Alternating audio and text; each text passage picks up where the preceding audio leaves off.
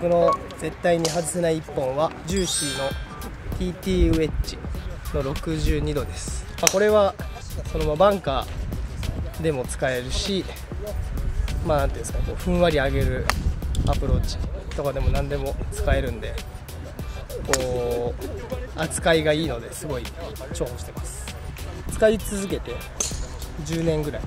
まあ、同じ人にこう削ってもらってるんでなかなかそこが変えられないポイントですね、まあ、だいぶこの後ろを落として、